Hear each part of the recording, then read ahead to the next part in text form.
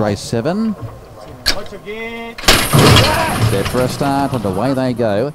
And ready to smile began well. Terms of reference is also showing speed. Autumn Blitz, Cosmic Sands rolling forward. Invisibles in the centre. Uh, they were followed by the Greys together. Colonial Star who's on the inside of counter attack, and the last two Lim's Torpedo and Ichika Bachika.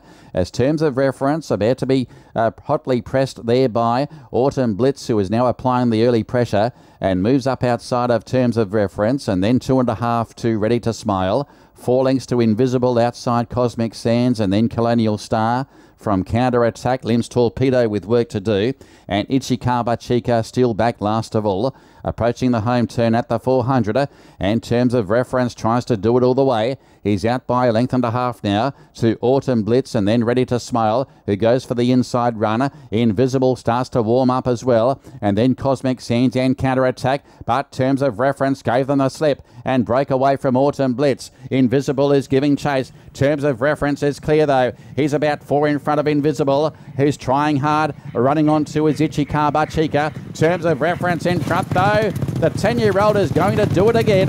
Terms of reference gives the stable a double. Wins a half length over Invisible. I think Colonial Star has arrived home in time to grab third, just ahead of Cosmic Sands and Counter Attack. Then came Autumn Blitzu Weekend. Then Ichikaba Chica, Lim's Torpedo. Tailed off is ready to smile. Casey Tarman, terms of reference, gee, they make a good combination, these two.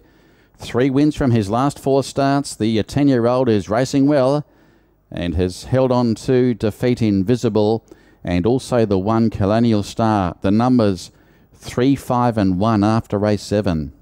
Came into favourite two were terms of reference. He will pay 14 for the win, 5 the place. In defeating the 5 Invisible, who is working up to a victory, and he'll pay 11. Third is 1 Colonial Star who will pay 11 for the place. He found the line well also. And Cosmic Sands, the stablemate of the winner, has wound up in fourth spot.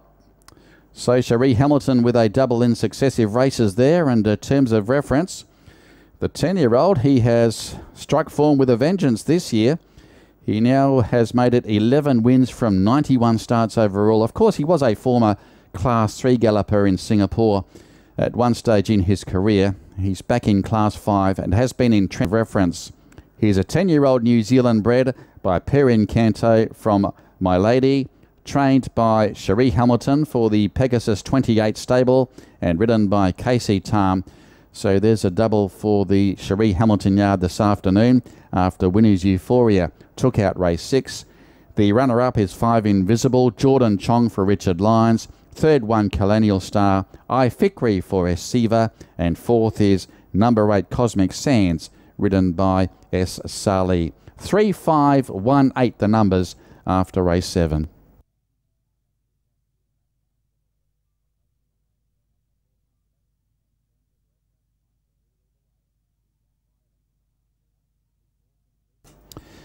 Now the race time is 116.9. 116.9 the time.